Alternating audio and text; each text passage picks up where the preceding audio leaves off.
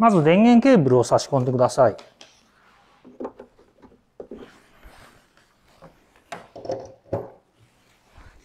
次に主電源をオンにします。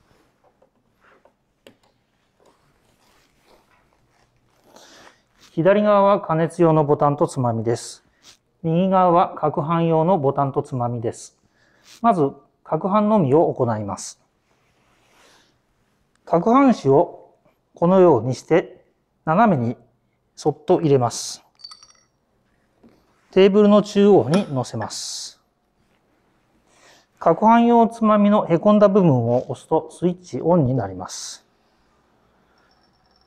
もう一度押すとスイッチオフになります。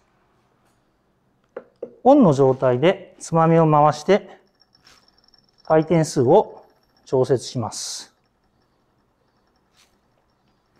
左側のつまみは加熱用ですから加熱しないときには触れないでください。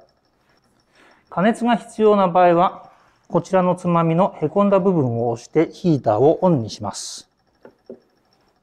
もう一度押すとオフになります。オンの状態でつまみを回して加熱温度を調節します。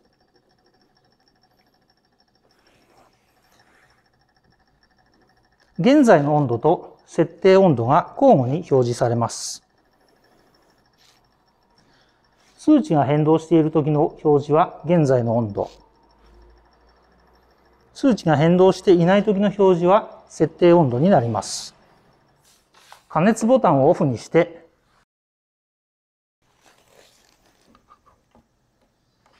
主電源を切ってもすぐには冷えません。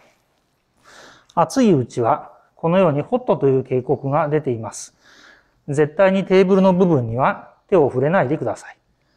また、片付けはテーブルの温度が十分に下がってからにしましょう。